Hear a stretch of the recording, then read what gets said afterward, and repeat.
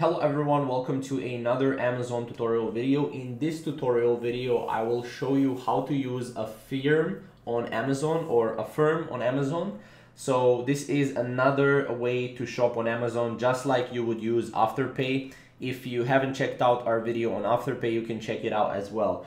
But uh, basically this is Affirm or Affirm uh, basically you, you can buy now and pay later at amazon.com so you can get the things you love from amazon and pay over time with no hidden fees.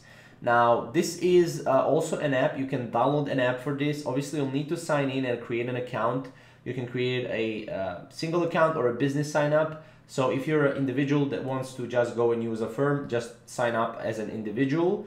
And as you can see here ways to pay uh, you can see you have Affirm card you have virtual card.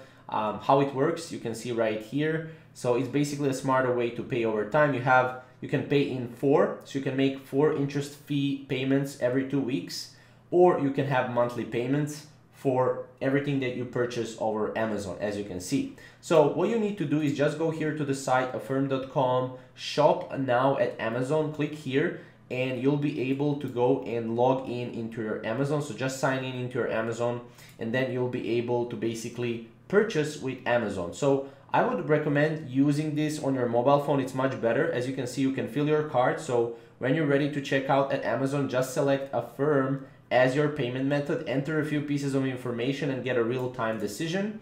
Then choose how to pay. So select the payment schedule that works for you.